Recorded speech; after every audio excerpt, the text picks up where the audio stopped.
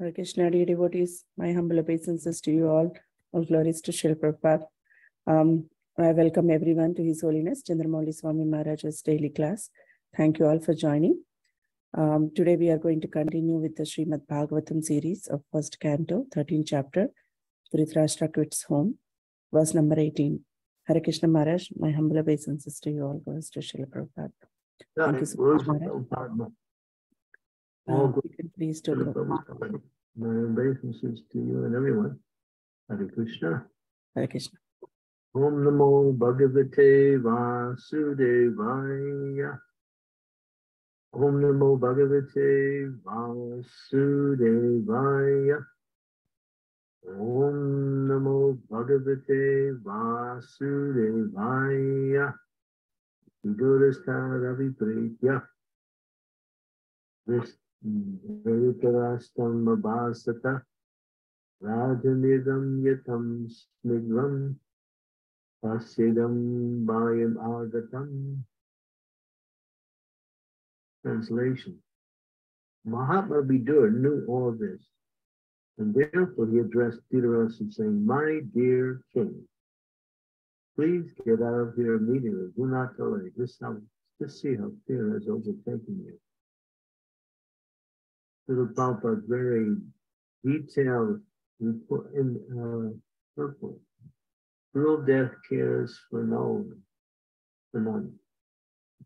Either Dhritarashtra or even Maharaj Yudhisthira. Therefore, spiritual instruction that was given the old Dhritarashtra was equally applicable to the younger Maharaj Yudhisthira. As a matter of fact, everyone in the royal palace, including the king and his brother and mother, were rapidly attending the lecture.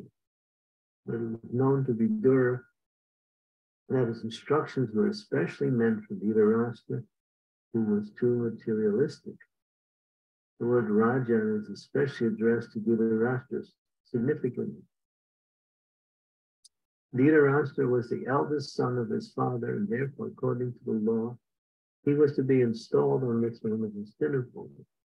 But because he was blind from birth, he was disqualified after the death of Pandu, his younger brother.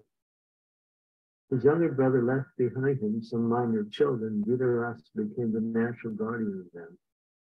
But at heart, he wanted to become the factual king and hand the kingdom over to his own sons, headed by Duryodhana. With all these imperial ambitions, Dhritarashtra wanted to become a king, and he contrived all sorts of intrigues in consultation with his brother-in-law Shakuni. But everything failed by the will of the Lord. And at last stage, even after losing everything, men and money, he wanted to remain as king, being the eldest uncle of Maharaj Yudhisthira. Maharaj Yudhisthira, as a matter of duty, maintained Dhritarashtra in royal honor, and Dhritarashtra was happily passing away his number of days in the illusion of being a king of the royal uncle of King Yudhisthira. Vidura, as a saint and as a duty-bound affectionate younger brother, Dhritarashtra, wanted to awaken Dhritarashtra from his slumber of disease and old age. Vidura therefore sarcastically addressed Dhritarashtra as the king, which he was actually not. Everyone is servant of eternal time, therefore no one can be king in this material world. King means the person who can order. The celebrated English king wanted to order time and tide, but the time and tide refused to obey his order. Therefore, one is a false king in the material world, and Dhritarashtra was particularly reminded of his false position, of the factual, fearful happenings which had already approached him at that time. Vidura asked him to get out immediately if he wanted to be saved from the fearful situation which was approaching him fast.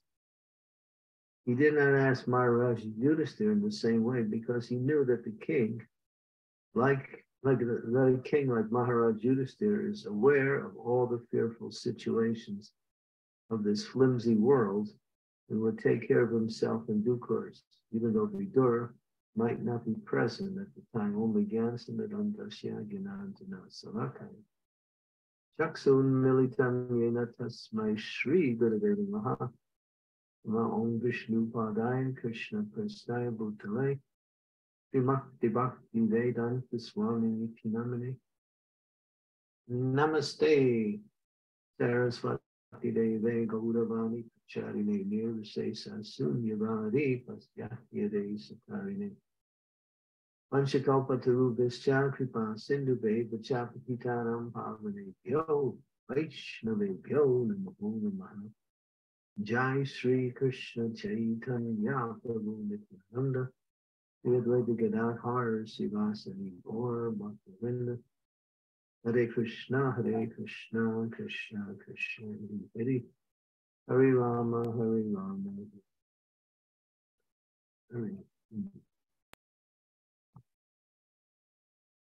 Just one minute and I'll return very quickly.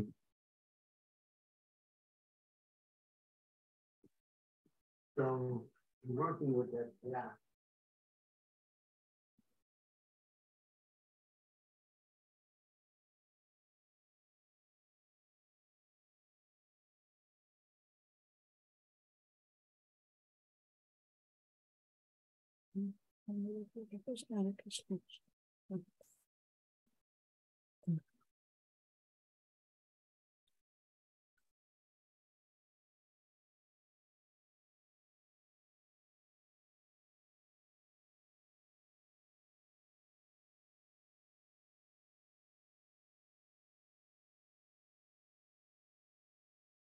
Hmm.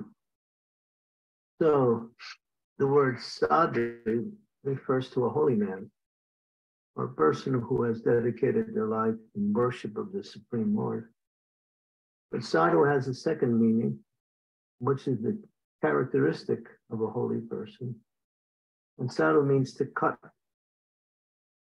cut away people's material attachment. So they speak. When they speak, they speak according to Shastra, according to spiritual knowledge. And therefore, they don't patronize anyone's whimsical ideas just to somehow or other be known as popular amongst people. They're not out for popularity, they're out for truth. And sometimes they speak a little strong. It becomes very difficult for people to accept it because it gets to the core of their attachment. And people like their attachments, although the attachments are not helping them, still they're attached. This is uh, the nature of the material world. People are attached to the wrong thing, but still they can't give it up. They won't give it up.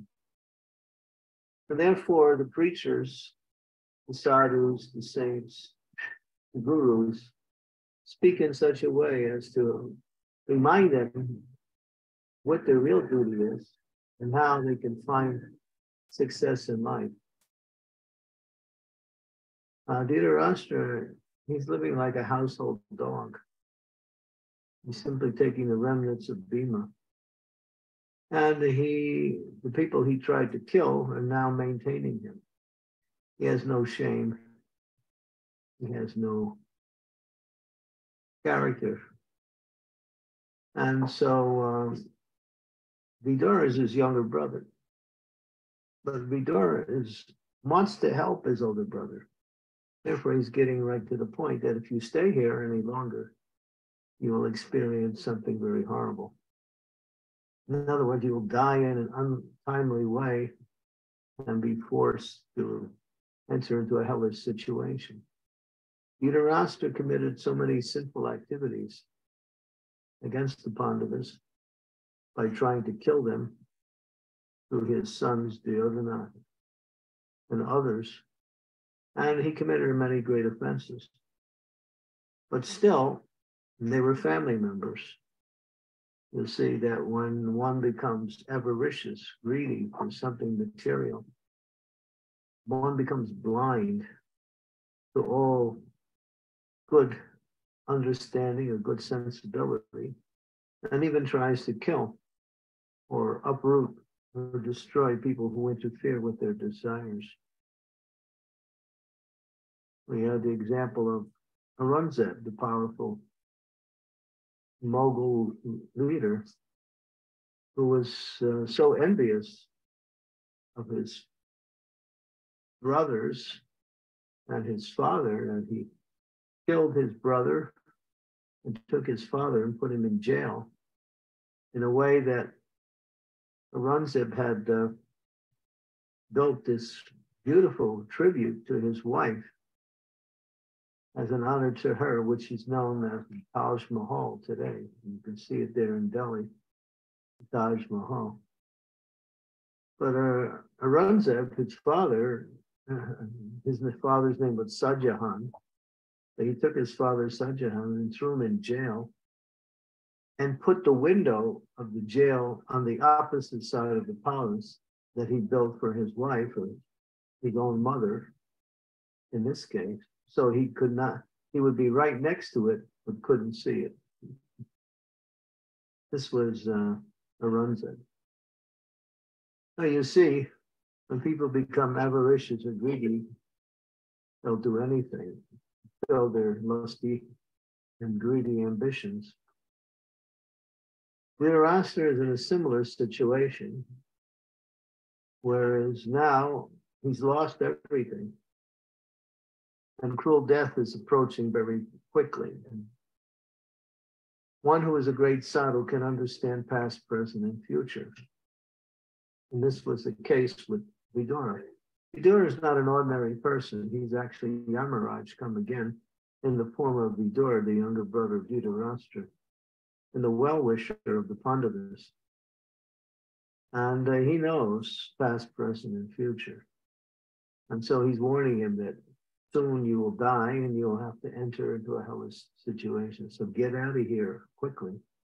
Make your trek to the holy places, purify your life, and free yourself from an inauspicious future. And so he's speaking strongly. He said, and he, he's also a little facetious in a very sarcastic, sarcastic way. My dear king, he's saying. He's not a king. Dhritarashtra is not a king, but he's saying that because Dhritarashtra thinks he's a king. Just to let him know that he's not. so he's making these, these statements. So, um, but this, when we look at this, we understand that many times we waste time in material life hanging on to things that really can't give us any real happiness or build any future upon. We get attached to something material. and the family members, friends, our position, uh, our, our, uh, our social arrangements, our economic arrangements. And we forget that you know, death is coming, but it is comes for everyone. As long as the material body is there, death is is something we have to have. We'll make an appointment. That is inevitable. But one who is Krishna conscious for death, then that's just the door to eternal life. One who is materialistic it's the most fearful thing in the world because they lose everything, including their material body and the attachments that they live for.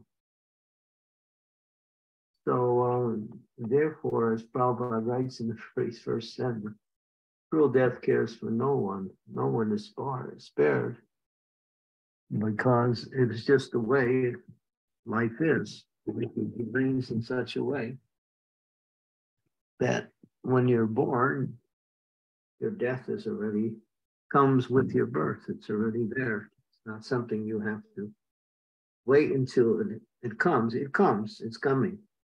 And Prabhupada was in Africa. He was in, I believe he was in Johannesburg. He was talking on this subject. And he said to one young man who was there, he said, Hello, what is your age? The man said, I'm 22. And Prabhupada said, Yes, means you're 22 years dead. Which means that as soon as you take birth, time is ticking away. So death is coming closer at every second, although it's imperceptible. We and we don't even think about it. We go on with our life. Therefore, here is a reminder from someone who, in his actual spiritual identity, is the Lord of Death, Yamaraj himself, who has now appeared as Vidur. He punishes the conditioned souls after they come to him, after they leave their body in the material world. So um, the sages, the saints, the great, some, uh, the great souls, the spiritual masters, their duty is to awaken people to the reality and not to allow them to uh, think that life in this material world is uh, eternal because everyone thinks like that. Yamara, not I'm sorry, not, but Yudhisthira, when Yudhisthira was in the forest with his um,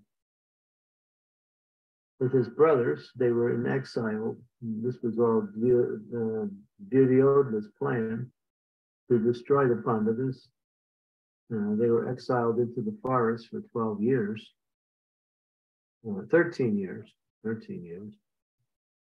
And uh, they were struggling to maintain themselves. They had to live on whatever was available in the forest. Fortunately, Draupadi was there. And Draupadi, being the common wife of all the Pandavas, had a particular pot, which was called her magic pot and whatever she gathered from the forest and cooked would be enough for anyone and any amount of guests that would come as long as she didn't eat. As soon as she ate, that would be the end of whatever was there. And so they had enough, but it was simple forests, vegetables, roots, and things that they that one can learn to live on in the forest. But one time they were all thirsty and uh, uh, they wanted to get some water. They they couldn't. They needed some water. So um, the five brothers were there. So Sahadev went out to look for water. And when he came, he came across this beautiful, clear, sparkling, clean water pond. And he was thinking, oh, here it is. Now his duty was to come back and tell all the others, but he was so thirsty that he decided to drink some water himself. When he was getting down to drink, he hears a voice coming from the sky. Stop. Do not drink that water.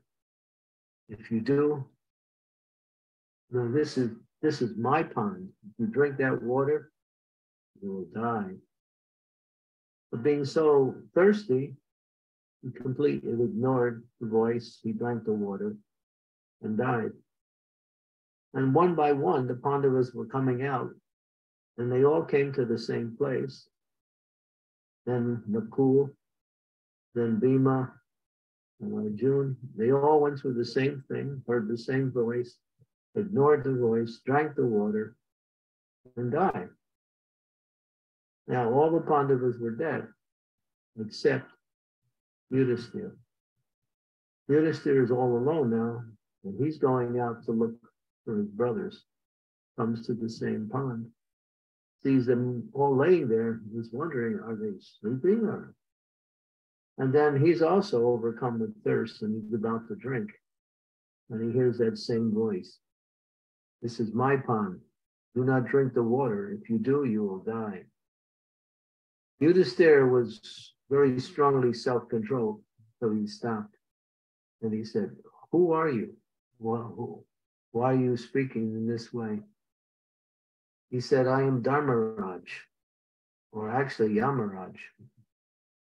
And uh, before, before you can drink the water, you have to ask, answer all of my questions. And he said, what is your questions? And this is mentioned in the Mahabharata. There were 50 questions. And Yudhisthira expertly answered all of the questions. And two of the questions I remember, one is very significant. One was, what is more numerous than the blades of grass in creation? And the answer was given by Yudhisthira, the thoughts in the minds of men. And then the last question came, what is the most amazing thing in this world? Yudhisthira also understood. He said, the most amazing thing in this world is everyone is seeing their friends, family members, and people in general are dying. But they're thinking, not me. It will not happen to me. when he answered that question, then the voice revealed himself as his father, because Vidura actually is Yamaraj, the father of Yudhisthira. And he said, Because you have answered my question so nicely, I can see you are very wise. I give you a benediction that you can ask for one of your brothers to come back alive again. So yeah, so Yudhisthira is thinking. There was Arjun, there was Bhim, Nakul, Sahadev. So uh, Yudhisthira answered the question, please give life to Nakul. And when Yamaraj, in the form of the Yaksha, heard that, he was surprised. Oh, you asked for Nakul? You will be fighting the battle of Kurukshetra, battle soon. Why didn't you ask for Arjun or Bhima? Yudhisthira replied in a very compassionate way. He said, I am the son Kunti, along with uh, my brother Arjun and Bhima. Nakul and Sahadev were the sons of Madri, who were the second wife of Pandu. When Pandu died, Madri entered into the Sati life and gave up her life also to follow her husband.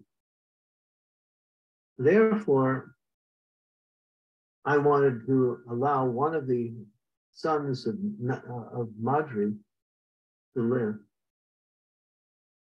When Yamaraj heard that, the Yaksha, he was amazed to see the compassion of Yudhisthira. He said, because you are so righteous and so concerned of the welfare of others, I will give life to all of your brothers again. and so they all woke up as if they were waking up from sleep. They did not remember that they actually had died.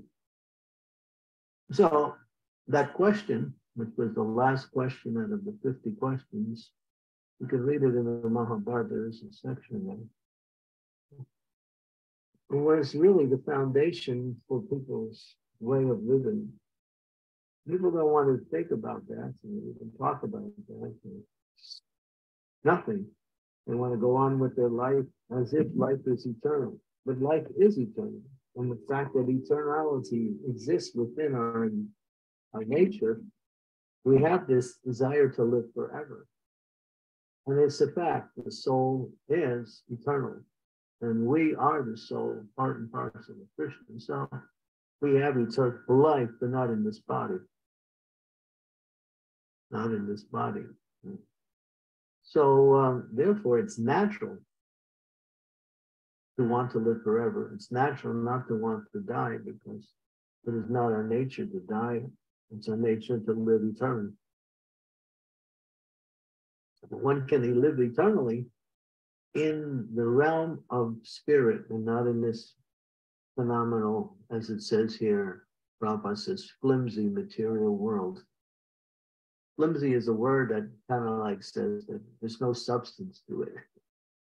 It doesn't have any substance because everyone is struggling to exist no one is actually enjoying life because their enjoyment is simply struggle, struggle, struggle, struggle to, to maintain, struggle to exist, struggle to um, continue. So this is the nature of this material world. It's simply struggle mm-hmm, because it is contrary to our eternal existence as spiritual beings. Therefore, Vidura is most compassionate. He was already in the forest and he was, he had met Maitreya and he had received instructions from Maitreya on eternal religious principles. He had become fully self realized and he had no business coming back to the family. He had already left. He was thrown out of the house by Duryodhana, who insulted him and he took that opportunity to leave and take up spiritual life. But now he's coming back only for one reason for his brother Dhritarashtra, and simply to try to remind him of what is the actual purpose of life and how to achieve it. So the great sages, souls, gurus, and others, their only concern is to give this life-giving knowledge to the conditioned souls to save them from their hellish existence, which awaits them as long as they continue in their material pursuits. And so that is the nature of Vidura. So we're seeing, and here it mentions that he didn't, although Yudhisthira was there, he didn't preach to Yudhisthira because he understood that Yudhisthira, in due course of time, will understand what is the right thing to do, and he will also leave his position. Although now he has just become the king of the world. So, and therefore Prabhupada says, you know, time and tide wait for no man. Whether you're a king or whoever you are, whatever you are, everything in this world is under the influence of eternal time. And as it says here, time and time obey nobody's orders. they work according to the order of the time maker, which is Krishna himself. Therefore, time is actually the manifestation of Krishna in this material world to move people towards eternal life. Now, this is a very interesting. You'll find this particular chapter is full of many of the details of the, the whole intrigue that centered around this family feud between the Pandavas and the Kauravas. And ultimately, how Krishna weaves his way through this to ultimately inspire everyone towards God consciousness. Okay, so.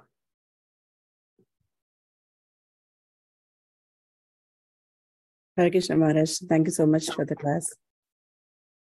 Dear devotees, any questions or comments, you can please go ahead and raise your hand or you can type in the chat window. I can read for you. Uh, please turn on your cameras if possible. It would be very nice to see all of you. And uh, yeah.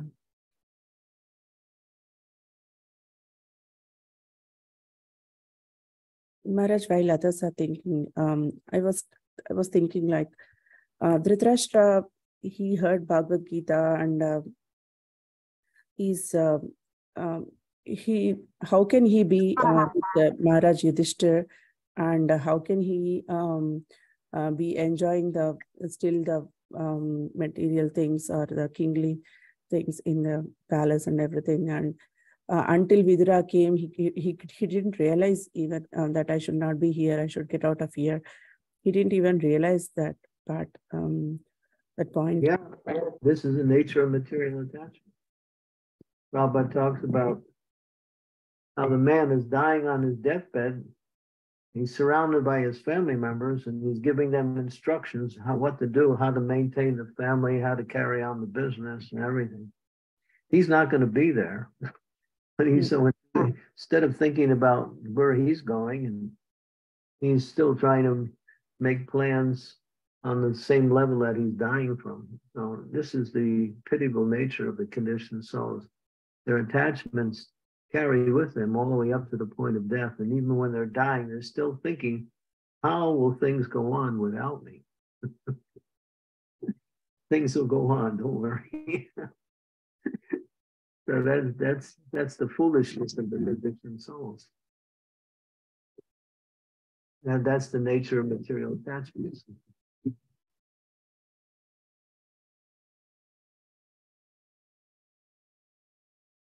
We get so attached to something that no matter what, we cannot hear any good instructions. Even Dhritarashtra admitted that. And he said that to Vidur. I know what you're, you know, no, he actually said that to, uh, he say? Yeah, he said it to Vidur. I know what you're telling me is correct. I can't, I can't follow it. Mm. Because of attachments. The cigarette pack, package says if you smoke, you get emphysema, lung cancer, you know, complications in pregnancy and pregnancy. It also causes you death. Still do this.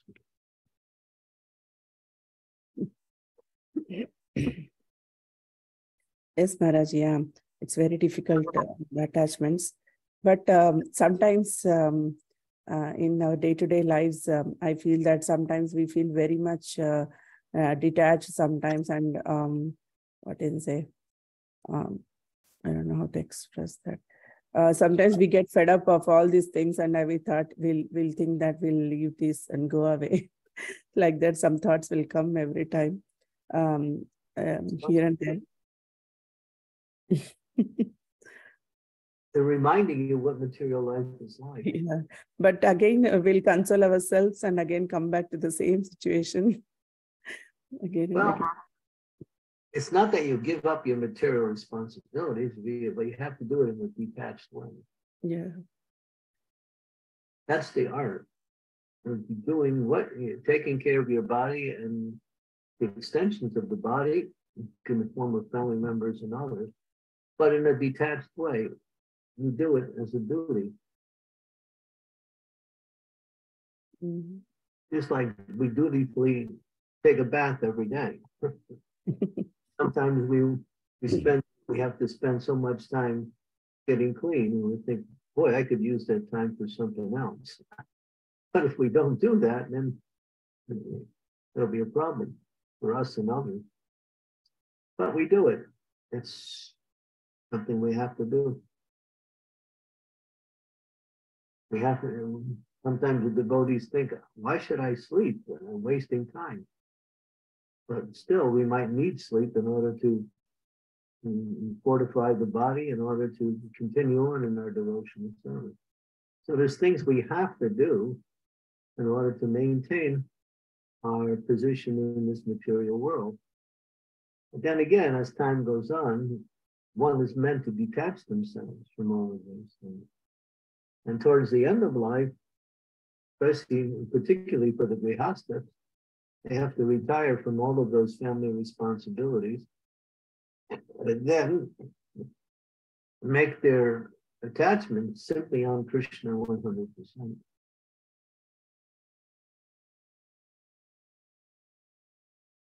You can do it at any age, but you have to also understand how to do it. And that, that's easy. The spiritual master gives me instruction.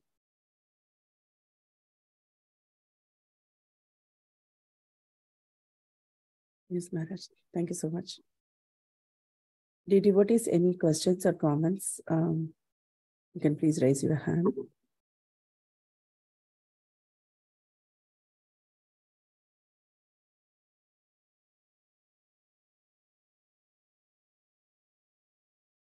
No, today everyone is very silent. No questions. Moni Baba. But um, I feel that this is a very uh, good culture where um, the saints come to the grihasthas and uh, they tell them uh, about this material world and real make them realize uh, how how much they are attached and um, uh, giving them spiritual knowledge. So this is very important and very um, very essential, right, Maharaj? The most essential thing. Yeah. Because what is the purpose of human life? The scriptures give us the understanding, Adato Brahma Jigyasa.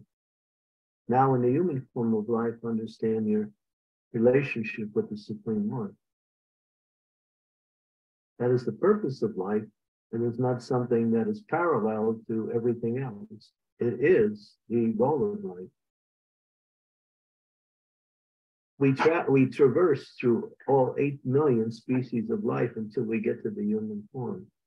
We have been in so many lower species of life aquatics, insects, plants, trees, birds, animals. Now, when we get to the human form of life, there's a chance to get out of this cycle of birth and death and actually attain to perfection in our relationship with Krishna. This material world is set up in such a way as to um, cause us to take birth after birth until we actually come to the point of uh, self-realization. The human form of life is meant for that. We can't do it in the lower species. Now, this is the this is the goal of human life is to become God conscious, fully God conscious.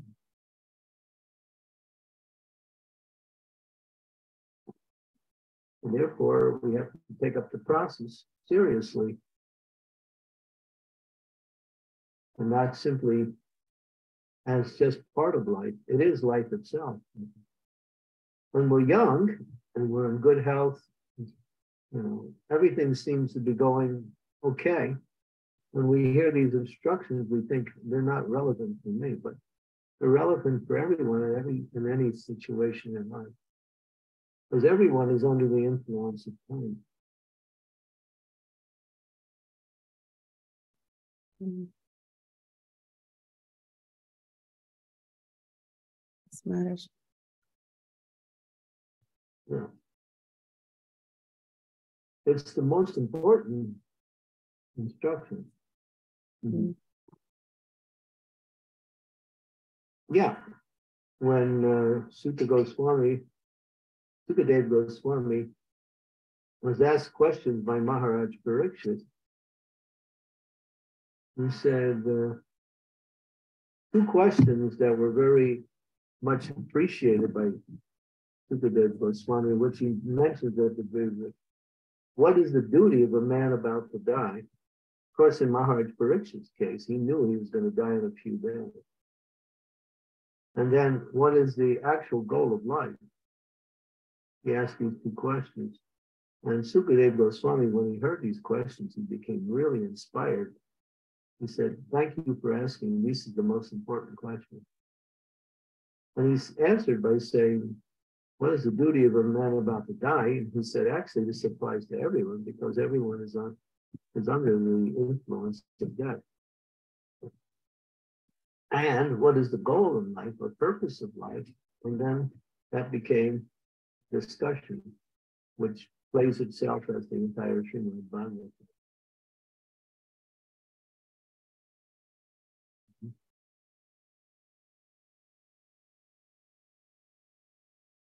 Yes, Maharaj, thank you so much. Um, there is a question on chat um, by Narsingalila Mataji. She's asking, um, Hare Krishna, what is the difference between reading Srimad Bhagavatam with an intention to serve the Srimad Bhagavatam and with the intention to enjoy the topics? Thank you. Hmm. Well, if you're in the enjoying mood, you won't you won't be able to see it. You won't be able to recognize the message of Bhagavatam.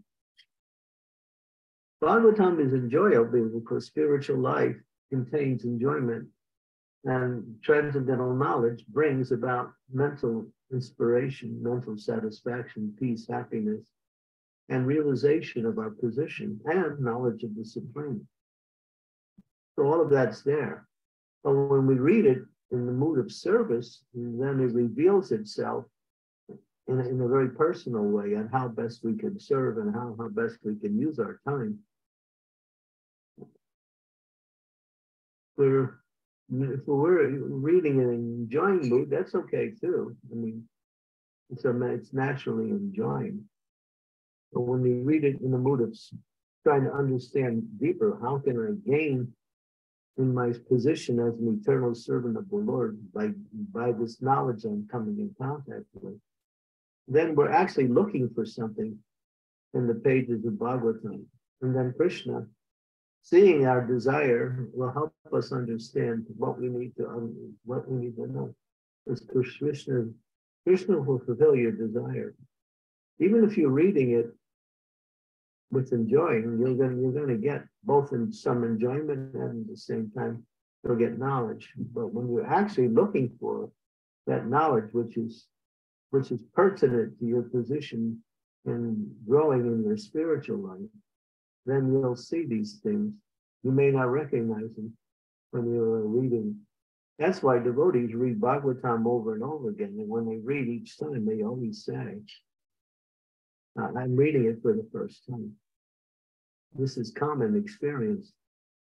Whether it's Bhagavatam, Bhagavad Gita, or any of the other major scriptures, when we read, each time we read it, it's like an experience. It's the first time. Why? Because each time um, it reveals itself more and more as we continue to stay in contact with the transcendental realm. But if you have the intention or the desire to learn from the position of growing in spiritual life, then that knowledge will be, you'll be able to recognize it and experience it automatically. Because Bhagavatam is, is like a kalpavriksha. In the spiritual world, there are trees called kalpavriksha, which anyone can get any desire to fulfill simply by going to that tree. So this tree can fulfill all desires. So Bhagavatam is also called the a kalpavriksha tree. It can fulfill all desires.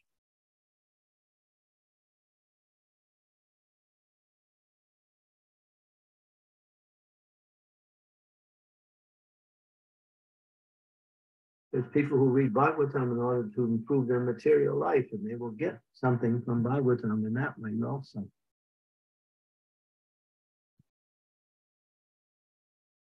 Because that's what they're looking for.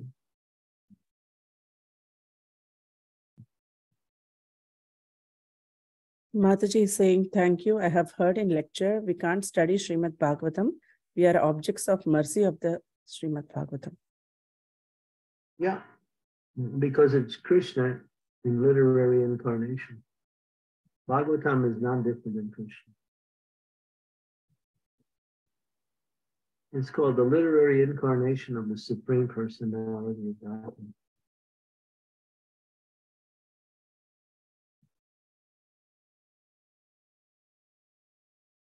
It's coming in, we're coming in contact with Krishna directly through transcendental knowledge.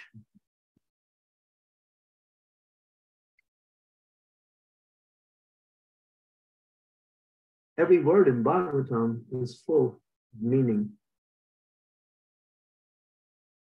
Therefore, you can't exhaust the meaning of Bhagavatam even for millions of lifetimes. You can read it over and over again.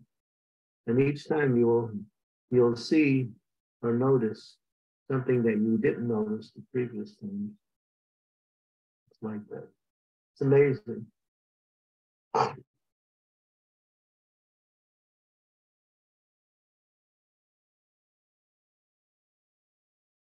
Thank you, Maharaj. Thank you so much. Um, dear devotees, any more questions, comments?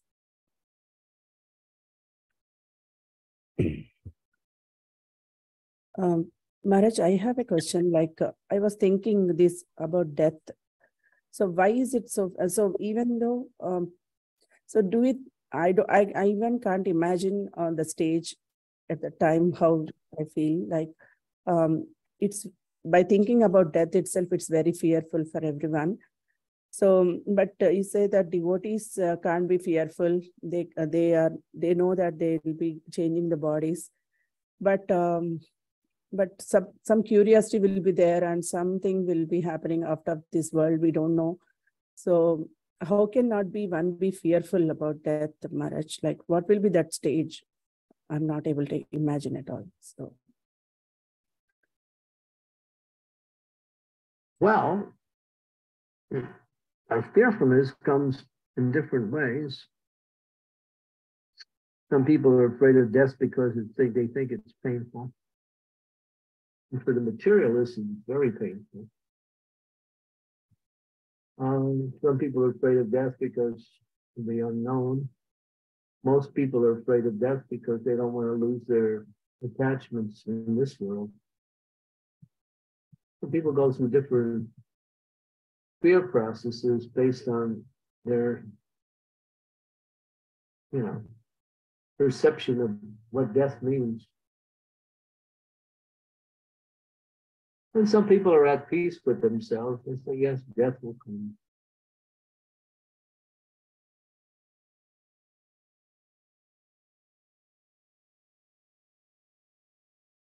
And so for devotee, devotee wants to make sure that they're ready for death by using their time now become fully Krishna conscious.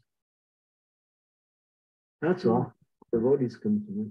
I have to leave this body, so let me leave in the in the in the in, in pure Krishna consciousness.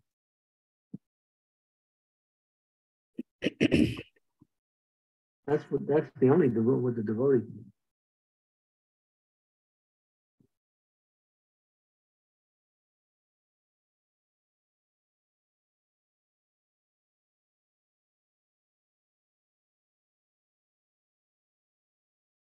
And there's always the fear of the unknown. That's there in, in life.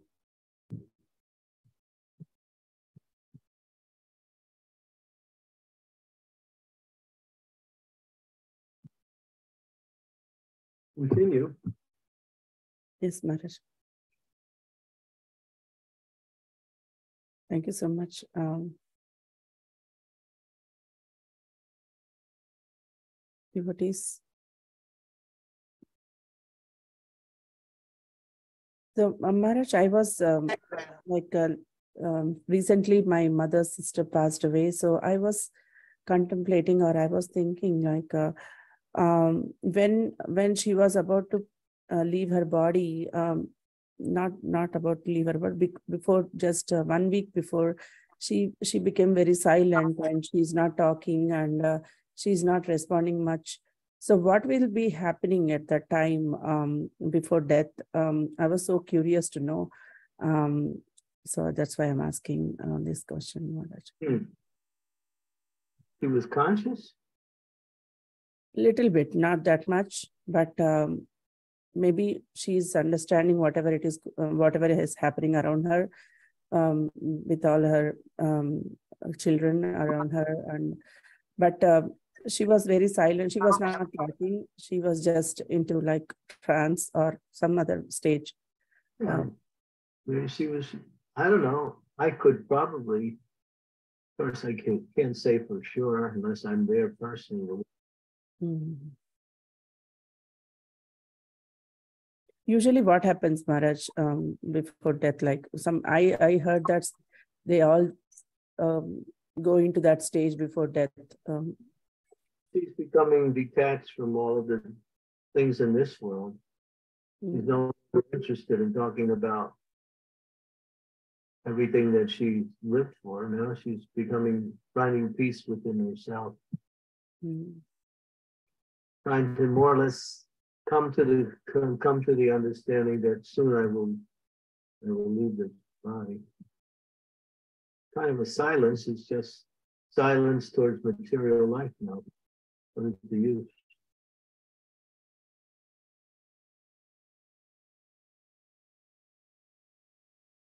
She's becoming more peaceful, and that's for people who are pious. So for some people who are that's what happens.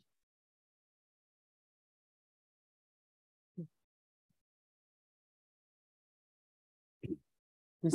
Thank you so much. Yeah, Maharaj, um, where can we read about this uh, particular topic? Like um, Srila Prabhupada mentioned somewhere and Bhagavatam.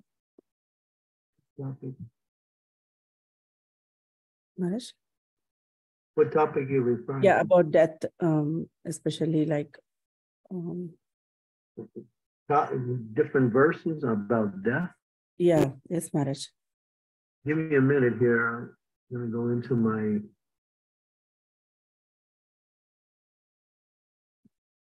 notes here and I'll give you some information right away. Thank you, Maharaj. You can tell you can devotees can write these down. These are some verses. Yeah. If anybody are interested, can please note down. I'll type in the chat window also. Yes, Maharaj. Okay, let's see. I have I have three references. Death of a pure devotee is from Srimad Bhagavatam 1 6 24. Death and the influence of time is one. This is what we're reading now 113, 18 through 22. So this topic will continue for the next three verses. Four verses. Uh, let's see, what else? Um,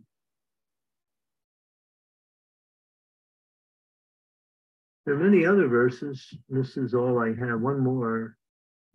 The the death sentence that's given to a person who commits crime is one seven thirty seven, but that's a different aspect. Yeah. Um, death is called uh, the herdsman. The herdsman, the herdman takes his flock of animals and moves them from one pasture to another. Death is moving the soul from one situation to another, so he's called a herdsman. He's called immovable, therefore he is fixed. He's called, uh, what is it called? Immovable. Imperceptible. Death is all around, but still we don't perceive it. Death is called imperceptible, immovable. What else? There's other terminologies for death. Hmm. Death is in the Bhagavad Gita, Krishna says, Mithya Sarva Harasyaham. I think that's in the 11th chapter. I am I am death. Death is me. Krishna said.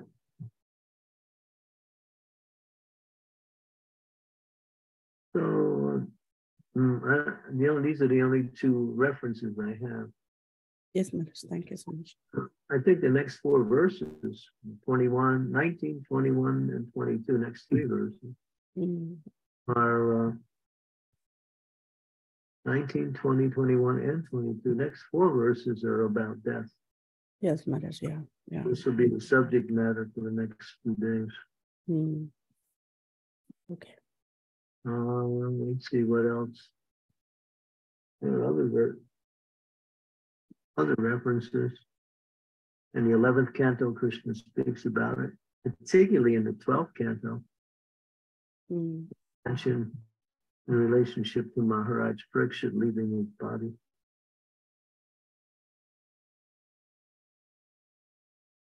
We have died so many times already, so death for us is not not something new. The only thing is we we don't have any re- recollections of our previous death, as we don't have any recollections of our previous lives either. And that is Krishna's arrangement, so the soul can focus on what is going on now, because what is in the present is important. Okay. So we forget our past lives, our past deaths, life after life. Sometimes in dreams, people can re-experience their past death. They have that happens sometimes. Or under hypnosis. Mhm. If you want to read something really good that will help,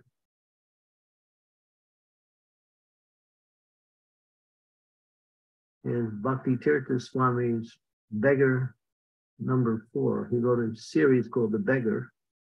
One, two, three, and four. Number four is all about as he's preparing to leave the world, he's writing about it.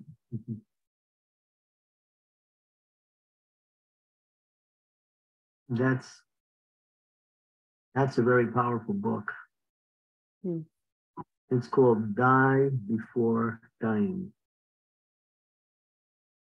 which means die to those things that, that is preventing us from dying in the in a in a Krishna conscious way.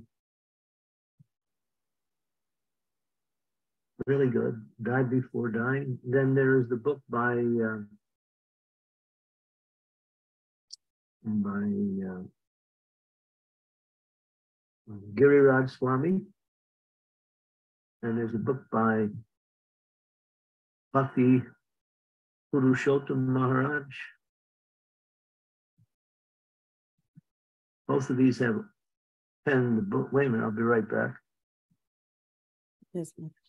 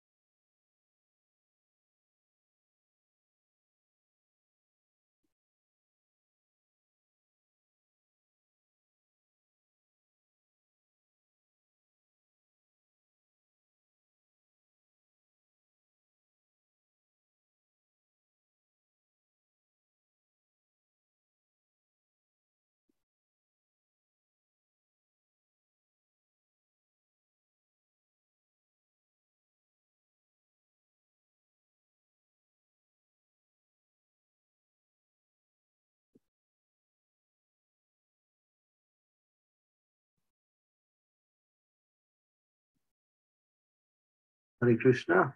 Yes, Maharaj. So, can you see me?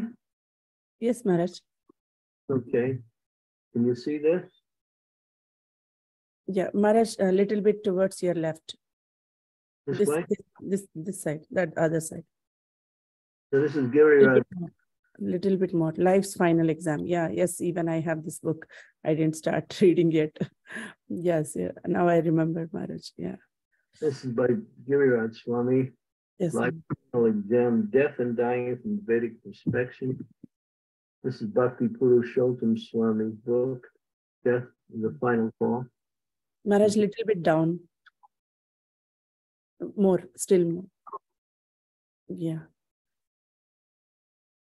Yes, Maharaj. This is by Bhakti Purushottam Maharaj. Okay. Right. Thank you, Maharaj. And then the one by Bhakti Tirtha called Die Before Dying, Beggar four. Oh, back of Yes, Maharaj. Thank you so much. I'll read much. you something. Death removes everything that is false. Death reveals to us our true friends. Death exposes our true priorities. Death brings forth wisdom.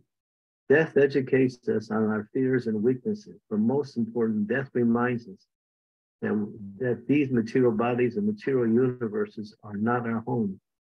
Since death is calling you, don't fear or hide, but present yourself and see what she has to offer.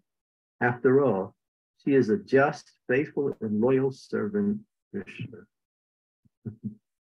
Oh, nice, Maharaj. Thank you so much for showing us, showing me this. Thank you. Yeah,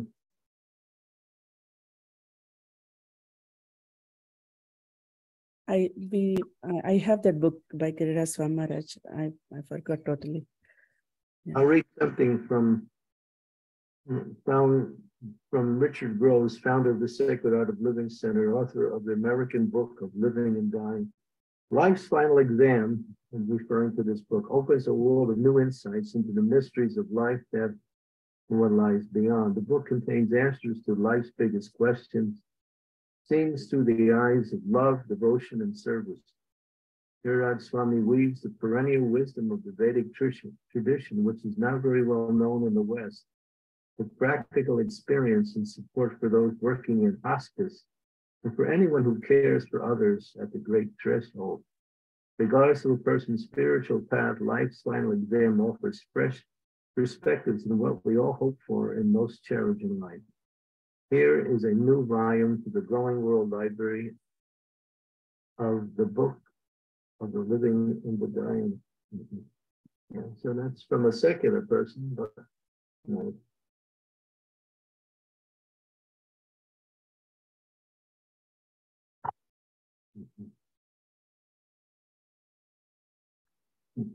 Yes, Yeah.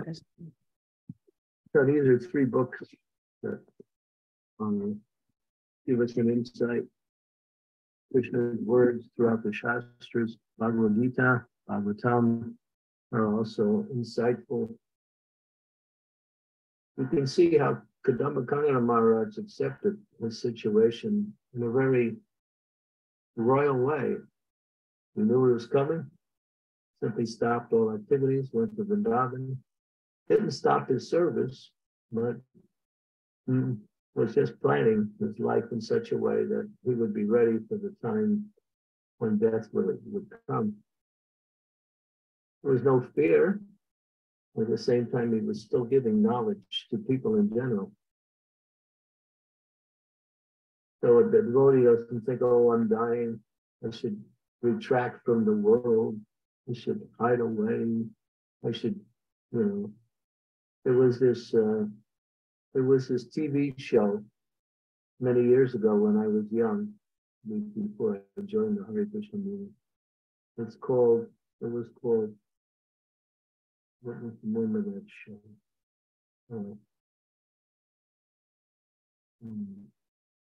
um,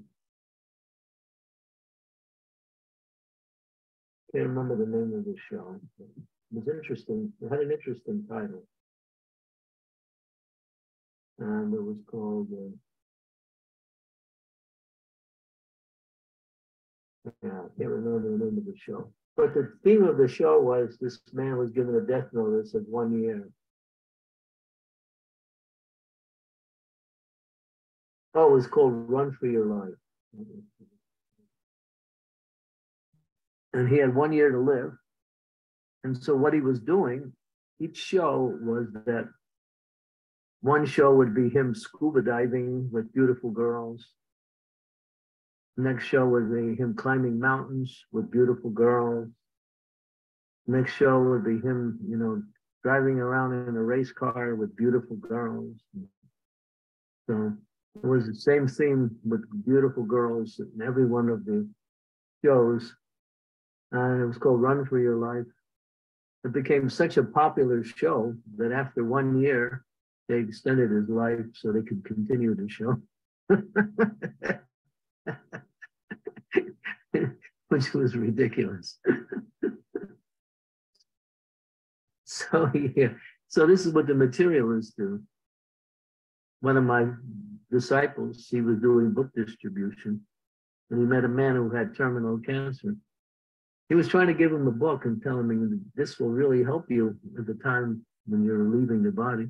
He said, no, no, I'm just going to go. I have a lot of money. I'm just going to enjoy as much as I can before I leave. this is the foolishness. They're not enjoying now. They think now they're going to enjoy just because they're leaving. What are they enjoying? Enjoying this dead corpse. The corpse is already, the thing is already dead. It's just a matter of time before the soul exits the body. So a devotee, it says here, you know, Bhakti Tirtha meditation on the beggar is really powerful. Out of all of these books, I recommend that one.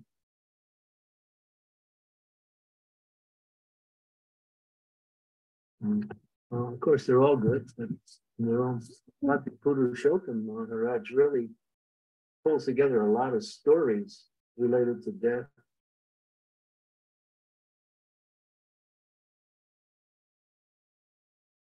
section one, which has five chapters, understanding death.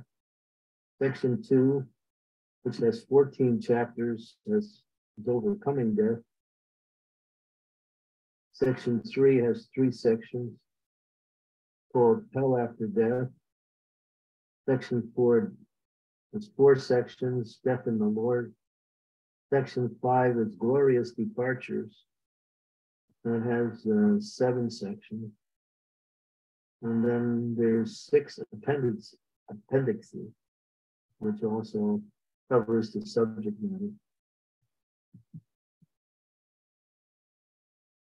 This is also a very interesting book.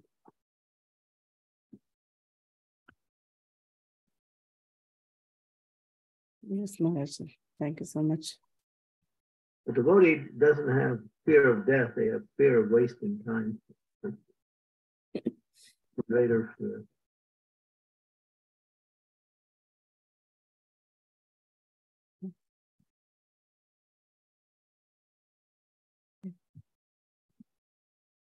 Thank you, Maharaj. So we are over past one hour, so because um, we can end the call here. So if there are no more questions or comments. Um, thank you. Okay, well, tomorrow is Sunday, and we'll see you all tomorrow. Yes, Maharaj. Thank you so much. And um, one more thing, Maharaj, like um, Shamlal Prabhu asked me to ask you, like, are you using the microphone which he has given, um, the new one? Oh, I got it sitting on my desk right next to me, and I forgot to plug it in. Because you have to change uh, the settings uh, in the Zoom uh, when you are attaching that to the computer. So um, you have to do that before class, Maharaj. Yeah. Yeah, I just neglected to hook it up, but all right, we'll do it tomorrow. Yes, Maharaj. Yeah. Thank you so much. And um, and also um, you were about to give a class about how to give a class um, on the particular topic. So if you can please let me know like which day you can give class, I can announce to the devotees. I'll try to do it, I'll give you at least a week's notice so everyone can be prepared for that. Right? Yeah. I think it's very essential. Many devotees as possible can come to that. Mm-hmm. Yes, Maharaj. Yeah. Okay, yeah, it's important to know. Because we want everyone to know this philosophy and actually be able to speak it. Yes. Thank you so much. Thank you all devotee, dear devotees. We can, we'll meet again tomorrow.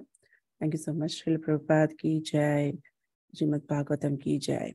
Thank you so much, everyone. Hare Krishna. Really- really Gurudeva ki jai. Jai. Thank you very much for the lecture. Hare Krishna. Hare Krishna. Um,